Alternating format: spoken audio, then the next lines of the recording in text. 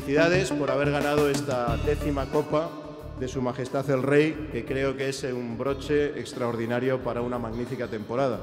Para los madrileños y para Madrid ayer era un día especial, porque era una final de la Copa de Su Majestad el Rey, se jugaba en Madrid y además eran dos equipos madrileños. Por lo tanto, ayer era un día especialmente satisfactorio para todos los madrileños y era la gran fiesta del fútbol de Madrid. Y yo creo que era el mejor homenaje que podía rendir el fútbol a ese centenario de la Federación Madrileña de Fútbol. Gracias a todos por ese esfuerzo, por ese trabajo y por esos títulos para Madrid.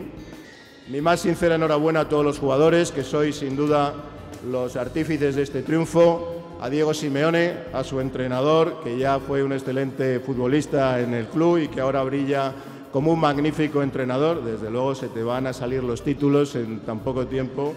Y a todo el cuerpo técnico y sobre todo a mi buen amigo Enrique Cerezo, el presidente del Atlético de Madrid.